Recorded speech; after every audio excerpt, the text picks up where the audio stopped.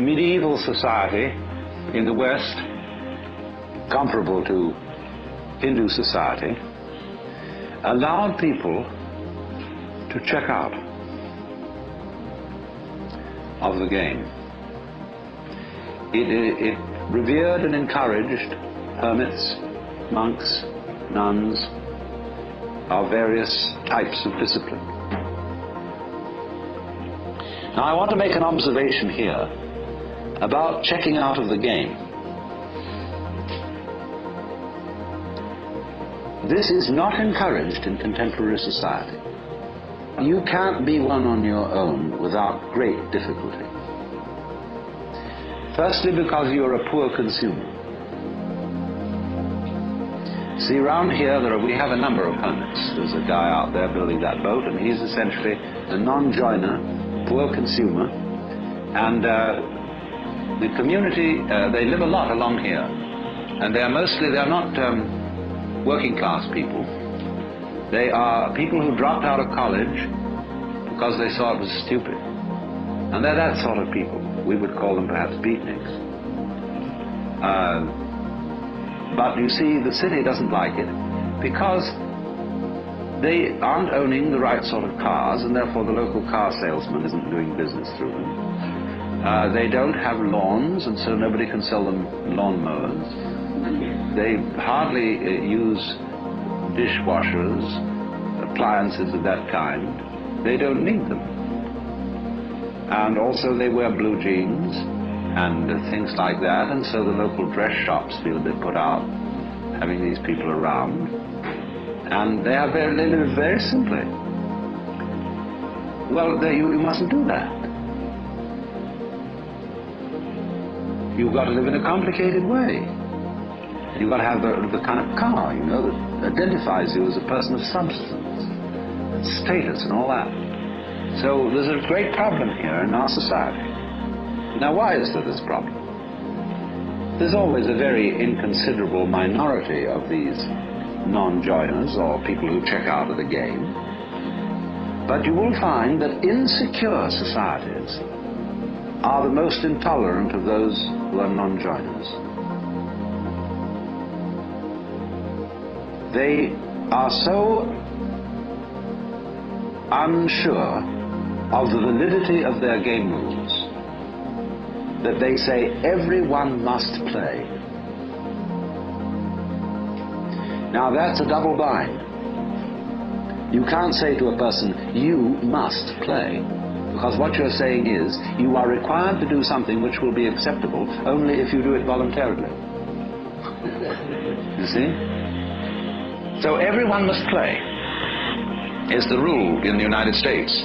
And it's the rule in almost all Republican governments. I mean Republican in the sense of uh, de- democratic. because they're very uneasy. Because everybody is responsible. You mean you may try not to be and avoid it and say, oh, let the senators take care of it or the president. But theoretically, everyone's responsible. Now that's terrifying. It's all right when you know what's right. There is an aristocracy, there is the clergy, and they know what should, should be done, and they're used to ruling, you see. But now it's, it's in your hands. You say, well, what are, what are we going to do? Well, I think this way, and you think that way, and he thinks the other way. And so we're all unsettled. And therefore, we become more and more conformist. Individualism, rugged individualism, always leads to conformism. Because people get scared. So they herd together, and it compounded with industrial society, mass production, etc. They all wear the same clothes, and they're sensible clothes that don't show the dirt too much. And uh, we get duller and drabber, and uh, with the exception of the Californian Revolution. Uh,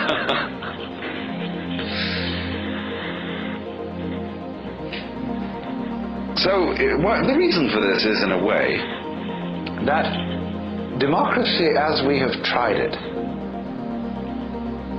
started out on the wrong foot. You see, in the scriptures, the Christian scriptures, it says everybody is equal in the sight of God. Now that's a mystical utterance. That means that from the standpoint of God, all people are divine and are playing their true function. And that is something that is true on a certain plane of consciousness. But come down a step and try to apply the mystical insight in the practical affairs of everyday life, and what do you get? You get a parody of mysticism. You get the idea not that everybody is equal in the sight of God, but that all people are equally inferior. And that's why all bureaucracies are rude, why the police are rude, and why you're made to wait in lines and uh, are uh, obstreperous income tax individuals and all, all, that sort of person. Because everybody's a crook. Everybody's equally inferior. See, that becomes the parody of democracy. And that kind of society, watch out for it. It turns in a quick click into fascism because of its terror of the outsider. Now, a free and easy society loves outsiders. In fact, it's a little bad for the outsider's integrity because he becomes a holy man, see? And uh, people make uh, salams and uh, give him food and uh, all that. They really take care of the outsider because they know that man is doing for us what we have not the guts to do. That outsider who lives up there in the mountain is at the highest peak of human evolution. His consciousness is one with the divine. And great, just there is someone like that around. It makes you feel a little better. He has realized, he knows what it's all about. And so we need a number of those people. Even though they don't join our game, they tell us, you see, what you're doing is only a game. It's okay, I'm not to condemn you, but it is only a game, and we up on that mountaintop are watching you. We love you. We have compassion for you. And, uh, but excuse, please, we aren't going to join.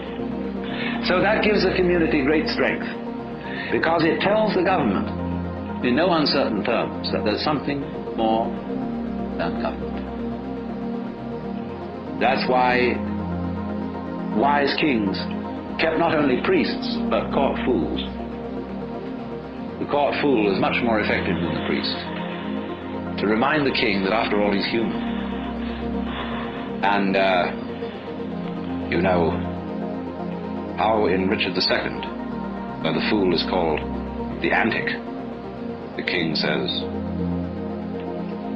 Within the hollow crown that rounds the mortal temples of a king keeps death his watch. And there the antic sits, scoffing at his state and grinning at his pomp, allowing him a little time to monarchize, be feared, and kill with looks. And at last comes death, and with a pin bores through his castle wall and farewell, King. It always this reminder of the priest or of the antic to the royalty, to the government. You are going to die. You are mortal. Don't give yourself airs and graces as if you were a god. As king, you are only a representative of God. And there is a force, there are domains uh, way, way beyond yours and way, way higher. But it's very difficult for a Republican government to realize that because it's insecure. And therefore, in our present world, you cannot abandon nationality without the greatest difficulty. People who try to abandon nationality get constantly deported from one place to another. You must belong to this thing, as Thoreau put it. However far into the forests you may go, Men will pursue you and compel you to belong to their desperate company of oddfellows.